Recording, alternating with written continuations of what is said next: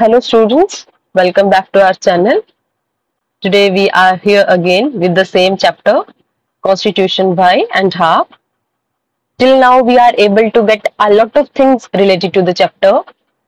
You have got the major crux of the chapter till now, that why Indian constitution is successfully working, how can we make any constitution effective, how can we generate the feeling of security in every minority in every person's mind with the help of the constitution and we have also discussed that how the constituent assembly of india was framed we have seen the provisions or recommendations of the cabinet mission and the formation of constituent assembly right now we are going to study composition of the constituent assembly यानी इसकी composition क्या थी structure क्या थी In the previous video, we have already discussed that the Constituent Assembly took its first meeting on 9th of December 1946. But I told you that in 1947, there was the partition of India. Remember? हमने क्या study किया कि 1946 में meeting हुई first 9 दिसंबर को but उसके बाद ही क्या हो गया 1947 में इंडिया का पार्टीशन हो गया सो so, प्रॉब्लम क्या होगी some of the members they will have to go in Pakistan ना जो इंडिया के कॉन्स्टिट्यूंट असेंबली के मेंबर थे. They will have to shift to Pakistan तो now its impact will be there on the numbers of the constituent assembly of India और इसका impact ये पड़ा कि हमारे जो कॉन्स्टिट्यूंट असेंबली के मेंबर्स थे the number of the members in assembly was reduce to 299 मतलब मेंबर्स की स्ट्रेंथ हमारे कम हो गई। उसके बाद but even then we work continuously constitution framers work continuously. And after that, we adopted the constitution on 26th of november 1949 it means 26th of november 1949 it was the date when the of India was framed completely मतलब ये वो date है जिस दिन India का constitution बनके ready हो गया था. Right right? लेकिन इससे पहले two days before twenty fourth sorry on twenty fourth of Jan after almost two month twenty fourth of Jan nineteen fifty and appended signature on the constitution as finally passed लेकिन finally जितने members ने इस पे sign किया था कि yes constitution बनके ready हो गया है, उन मेंबर की स्ट्रेंथ थी आपकी कितनी? 284 बट उसके बाद हमने क्या किया? We celebrate Republic Day, right? On 26th of January. Every year we celebrate this as uh, this day as a national festival, right? और क्यों celebrate करते हैं We all know the importance of this day in the history of our country. We know कि यही वो day है जिस दिन हमारा कॉन्स्टिट्यूशन इंप्लीमेंट हो गया था फोर्स में आया था जिस दिन हमारा कॉन्स्टिट्यूशन लागू हो गया था but can you tell me the reason behind it कि जब हमने कॉन्स्टिट्यूशन बना के रेडी कर लिया ट्वेंटी ऑफ़ नवंबर 1949 को बट इवन देन हमने वेट क्यों किया? टू मंथ्स के लिए। क्यों नहीं हमने 26 नवंबर को ही कॉन्स्टिट्यूशन इंप्लीमेंट कर दिया? हालाँकि कुछ जो इंपॉर्टेंट प्रोविज़न थे, वो इंप्लीमेंट हो गए थे ट्वेंटी ऑफ़ नवंबर को ही बट जो कंप्लीट कॉन्स्टिट्यूशन था, उसको इन्फोर्स किया गया था इंप्लीमेंट किया गया था ट्वेंटी ऑफ़ जैन 1950 उसके पीछे रीजन ये था that in 1930 and the date was 26 Jan only उस दिन हम लोगों ने क्या बनाया था? On the bank of Ravi river Pandit Jawaharlal Nehru declared India as an independent state independent nation और उसके बाद उस, क्योंकि हम इंडिपेंडेंट थे नहीं एक्चुअल में we were the colony of the Britishers till that time but even then we considered our self as the independent as an independent nation तो इसीलिए क्योंकि ब्रिटिशर्स के अंडर रहते रहते हम लोगों ने इंडिपेंडेंस डे सेलिब्रेट कर लिया था। और उसी डे को, और तो दिन इतना इंपॉर्टेंट बन गया from the context of Indians point of view इसीलिए उस डे को मेमोरेबल बनाने के लिए हम लोगों ने क्या किया? 26 जैन 1950 को अपना कॉन्स्टिट्यूशन इंप्लीमेंट कर दिया कंप्लीटली ताकि हम उस डे को मेमोरेबल डे में कन्वर्ट कर सकें। I think this two things are clear to you कि कब हमारा कॉन्स्टिट्यूशन बन के रेडी हो गया, कब हमने उसको इम्प्लीमेंट किया और उस डिले का रीजन भी आपको कंप्लीटली क्लियर है। Right right? अब देखो, इसके बाद अब जो प्रॉब्लम थी वो क्या थी? Because in 1947 we were India got partition also right हमारी कंट्री का पार्टीशन हो गया। और उसके बाद प्रॉब्लम क्या थी कि हम लोगों ने क्या सीखा उस पार्टीशन से? वायलेंस वॉज़ देयर प्रॉब्लम क्या हुई? Most of the Muslim they have to migrate Pakistan and a lot of Hindus from Pakistan they came in to India तो ना the peace of the country was missed at any place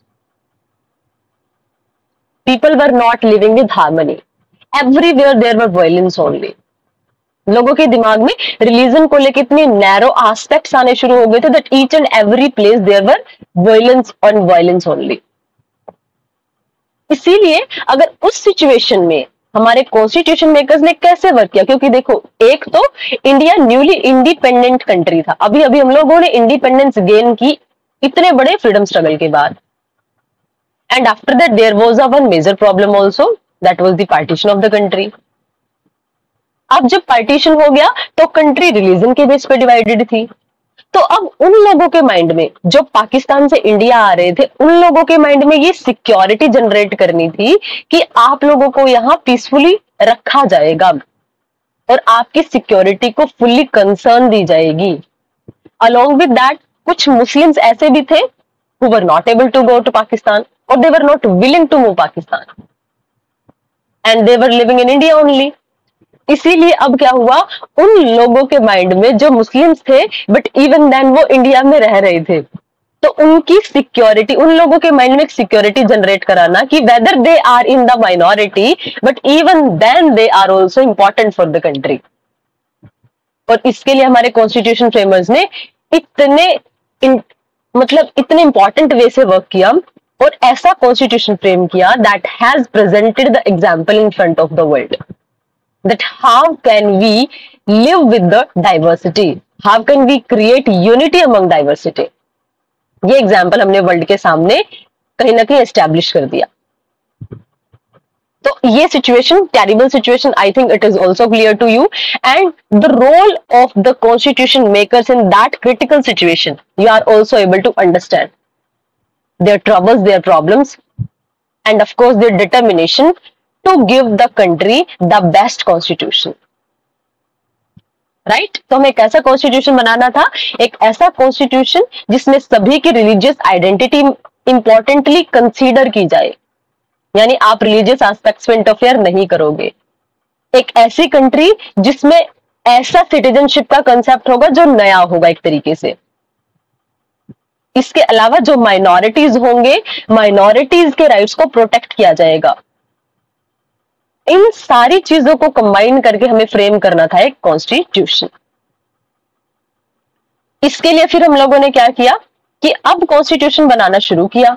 but अब question ये था that we were not having any kind of complete democratic experience till now right तो अब जब हमारी constituent assembly बनी तो एक जो इंपॉर्टेंट कंटेक्स्ट था that was universal suffrage suffrage means होता वोटिंग राइट अब हमारे कॉन्स्टिट्यूशन फ्रेमर्स के माइंड में क्या क्वेश्चन था? कि अगर आपने वोटिंग राइट दिया तो वो वोटिंग राइट किसके पास होना चाहिए? क्या वो वोटिंग राइट सिर्फ़ एजुकेटेड लोगों के पास होना चाहिए? क्या वो वोटिंग राइट सिर्फ़ मेल मेंबर्स के पास होना चाहिए? क्या वो सिर्फ़ मेजोरिटी पीपल के पास होना चाहिए? या फिर फ्रांस और अदर कंट्रीज़ की तरह, क्या वो ऐसा होना चाहिए जिसमें प्रॉपर्टी या फिर टैक्स पेड इंसान को आप क्या कराओगे? वोटिंग राइट प्रोवाइड करवाओगे? But India has learn from the experiences of other countries as well हमने क्या सीखा? फ्रेंच रेवोल्यूशन से हमने यही सीखा कि अगर आपने एक पार्ट को अगर वोटिंग राइट नहीं दिए तो फिर क्या होगा? In future you will have to face revolution है ना? हमारे पास एक्सपीरियंस थे यूएसए के ब्रिटेन के female voting right voting right के लिए जो मूवमेंट्स होते हैं उन सभी के। And we learn from all those things इसीलिए हम लोगों ने क्या कंटेक्स्ट अपने कॉन्स्टिट्यूशन में इंप्लीमेंट किया that was universal adult suffrage इसका मतलब क्या था? देखो अडल्ट मीन्स कि एक एज आपने डिफाइन कर दी that after this you will be adult and you will be consider as the eligible candidate who can cast his or her vote universal that is related to all यानी कि आपने ऐसा voting right they दिया और suffrage mean होता है voting right I have told you already तो आपने ऐसा वोटिंग राइट सभी को दे दिया जो यूनिवर्सल होगा। यूनिवर्सल का मतलब कि हमने कोई ऐसा क्राइटेरिया बनाया ही नहीं कि जिसके बेस पे आप लोगों को वोटिंग राइट से डिनाई कर सको। We have mention the age at age it's basic factor only उसके अलावा आप किसी पर्सन को कास्ट के नाम पे रिलीजन के नाम पे जेंडर के नाम पे किसी को आप वोटिंग राइट देने से मना ही नहीं कर सकते। But one factor which we have adopted that is the age only got it और इसके अलावा I think this is also clear to you along with that हमने और क्या किया? As I told you in the last video also that the constituent assembly of India was not directly elected right but even then the constituent assembly was providing और it was representing each and every part of the society हर एक group का representation इसमें था।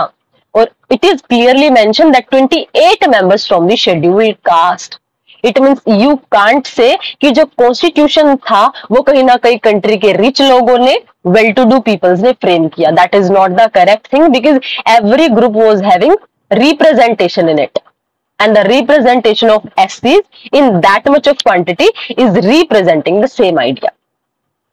Got it? हालाँकि people can consider or we can also consider that the, there was the dominance of Congress because most of the seats they were controlled by the Congress only and the reason behind it that most of the leaders have played a crucial role in the freedom struggle. That's why they were having a great influence over the citizens of the country. That's why after the election, sorry, after the uh, after the partition, after the independence, people showed their huge huge trust in them and that's why most of the people, most of the members of the Congress were in the Constituent Assembly. Got it? अब देखो इसके बाद और क्या जो important task था अब है प्रिंसिपल ऑफ डेलिब्रेशन अब डेलिब्रेशन का मतलब क्या है that how we are going to deal with the diversity with your proper logics not only by your that kind of power that you are strong from other, that you are in the majority, that you are rich, not by that point, but with your logical point, how you are going to tackle every situation, how you are going to make, how, how you are going to convince other people to accept your ideas. The principle of deliberation tells that thing. अभी देखो अब अगर हमें constitution बनाना था तो इसके members के लिए हम लोगों ने क्या किया क्योंकि देखो, हमने बहुत बार पढ़ लिया कि डाइवर्स सेक्शन से इसके मेंबर्स थे। मतलब every group of the society was having representation net अब जब इतने सारे डाइवर्सिटी वाले ग्रुप से इसमें मेंबर्स थे तो ये भी बात बिल्कुल मतलब बिल्कुल सही होगी कि इसमें इनके आइडियाज़ क्या होंगे? दे विल बी डिफरेंट और अगर आइडियाज़ डिफरेंट होंगे तो that is also definitely that there will be conflict in their ideas और अगर कन्फ्लिक्ट होगा तो अगर वो कन्फ्लिक्ट हो भी रहे हैं तो वो मैनेज ऐसे कैसे हो कि आप सिर्फ़ अपने इंटरेस्ट को दूसरे के ऊपर थोप नहीं रहे हो, बल्कि आप उन डिस्कशंस के थ्रू वो चीज़ें बाहर लाने की कोशिश कर रहे हो जो कंट्री के लिए पॉजिटिव है। और उसके लिए आपको क्या करना करना पड़ेगा कि आप कॉन्स्टिट्यूशन में जो आइडियाज़ है ना, आपको सिर्फ़ अपना इंडिविजुअल इंटरेस्ट नहीं देखना था आपको जो भी आइडियाज़ आप रिप्रेजेंट कर रहे हो, उसमें आपको चेक करना था whether your ideas are reflecting the whole nation और not because there were disagreement right suppose कि कोई एक लो बनेगा तो उसको जो फेवर नहीं करने वाली कम्युनिटी होगी ग्रुप होगा, वो बोलेंगे, नहीं, ऐसा तो होना ही नहीं चाहिए. हालाँकि कुछ ऐसे एग्रीमेंट्स भी देखे कि जिनका कोई लॉजिक नहीं था। For example Hindu code bill which give property right and some kind of divorce related right to females and Ambedkar has proposed that kind of bill in the Constituent Assembly only. But it was not accepted that time because of the patriarchal mindset and other things. हालाँकि ये चीज़ें भी मतलब एक examples ऐसे भी देखने को मिले कि जो डिसएग्रीमेंट थे वो कहीं ना कहीं इसीलिए थे कि लोग अपने इंटरेस्ट को बचा रहे थे बट इवन देन हमने सुप्रीम क्या रखा supreme was the nation only and after the supremacy we have framed that constitution that was for each and everyone that was not for any specific group of the society got it मतलब deliberation कैसे कि आपने अपने जो ideas दिए कैसे उसने पूरे के पूरे नेशन को रिप्रेजेंट किया और कैसे आपने वो पॉइंट्स रखे किसी के सामने कि लोगों ने आपके आइडियाज़ को एक्सेप्ट किया दिस इज़ द डेलिब्रेशन यानी डिफरेंट जो डिफरेंट डिफरेंट डिफरेंट जो आइडियाज़ थे व्यूज़ थे, उन डिफरेंसेस के बीच में जो एक यूनिटी फाइंड आउट की to make the country and on the behalf of that principle whole of the constitution was framed अब इसके बाद ये चीज़ हम लोगों ने कर दी। एक क्वेश्चन हम लोगों ने टैकल किया that on which base we should give voting right to the citizen now one more important question was there in front of the India what was that should India adopt centralized और decentralize system of government क्योंकि देखो, इतनी सारी problems एक साथ थी। हमारे पास colonial experience बहुत ज़्यादा लंबे टाइम पीरियड का हो चुका था। और उससे पहले हमारी कंट्री में मोनार्कियल फॉर्म ऑफ़ गवर्नमेंट चल रही थी। तो अब क्वेश्चन ये था कि क्या इंडिया को सेंट्रलाइज्ड फॉर्म एक्सेप्ट करनी चाहिए गवर्नमेंट की या डिसेंट्रलाइज्ड अब सेंट्रलाइज और डिसेंट्रलाइज सेंटर मतलब जहाँ सारी की सारी पावर सेंटर मतलब किसी एक पॉइंट पे आके कलेक्ट हो जाती that is centralize form of government right जहाँ पावर का सेंटर सिर्फ़ एक ही होता है, इसलिए इसको बोलते हैं सेंट्रलाइज्ड और decentralize that is completely opposite to this ideology इसमें क्या होता है? Powers will be divided powers will be distributed इसीलिए अब ये क्वेश्चन यही था हमारे सामने कि कौन सा सिस्टम कौन सा गवर्नमेंट का सिस्टम इंडिया के लिए बेनिफिशियल होगा? And which kind of power should be given to judiciary क्योंकि अगर आपने देखो कॉन्स्टिट्यूशन बना दिया और कॉन्स्टिट्यूशन में जुडिशरी कोई पावर नहीं दी तो क्या होगा? The constitution will be in the toy in the hands of the government only that's why it was very much required to give adequate independence to the judiciary right इसीलिए हम लोगों ने क्या किया? इसीलिए हम लोगों ने कॉन्स्टिट्यूशन में आ, मतलब ऐसे ऐसे प्रिंसिपल्स इंप्लीमेंट करने की कोशिश की कि हम क्या कर सके एक ऐसा नेशन बना सके जिसमें कहीं से कहीं तक कोई प्रॉब्लम की गुंजाइश ना बचे।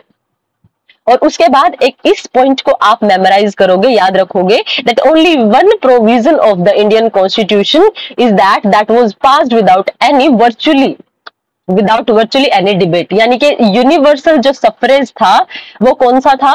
Introduction of the universal suffrage यानी जहाँ हमने लोगों को वोटिंग राइट सबको दे दिए ना, वो कौन सा था आपका?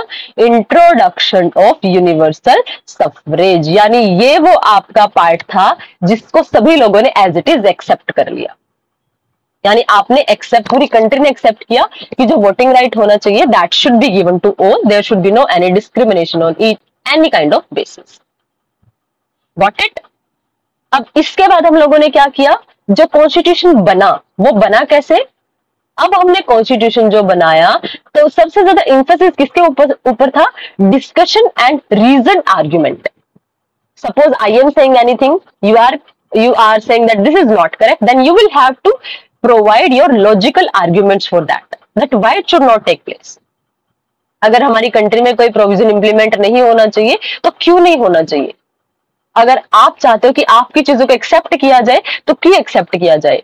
So there were huge discussion and arguments but arguments were not just to show any person that they are inferior to you but arguments were there to find something positive got it इसीलिए हम लोगों ने क्या किया कि simply हम लोगों ने ऐसे कॉन्स्टिट्यूशन कॉन्स्टिट्यूशन को फ्रेम किया जिसमें कोई भी चीज़ विदाउट कंसिडरेशन हम लोगों ने इंप्लीमेंट नहीं की।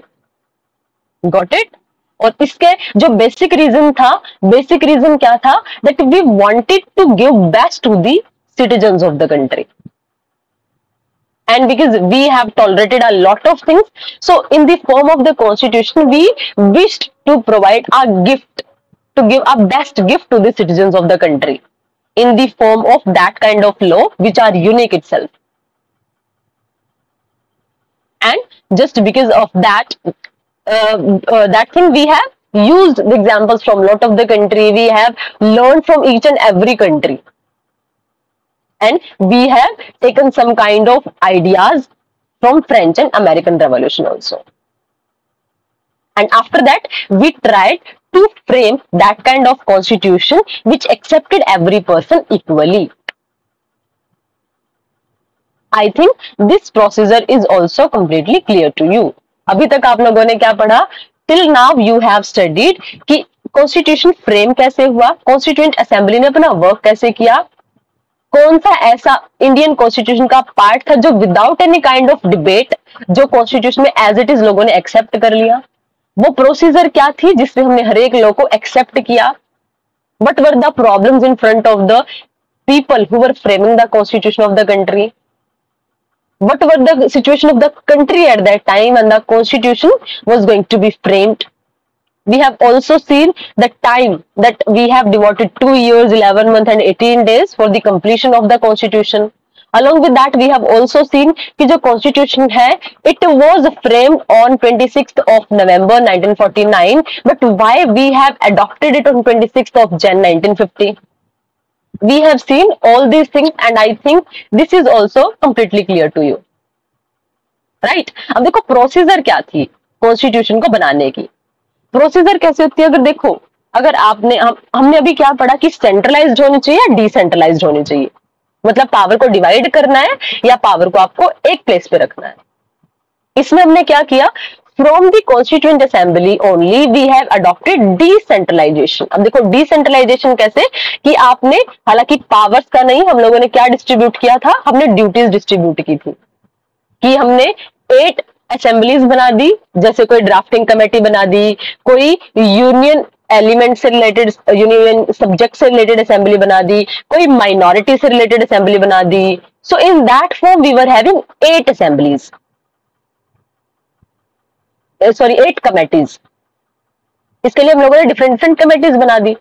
और एक जो सबसे इंपॉर्टेंट कमेटी थी that was the drafting committee और the head of the drafting committee was doctor B R Ambedkar and that's why he is known as the father of Indian constitution इसके बाद हम लोगों ने क्या किया कि ये जो डिफरेंट डिफरेंट आपकी कमेटीज थी, ये सारी क्या करती थी? अपने अपने एरियाज़ के ऊपर चेक करती थी that this should be included in the constitution और उसके बाद डिबेट डिस्कशन के बाद उनकी रिपोर्ट्स वो प्रोवाइड करवाते थे।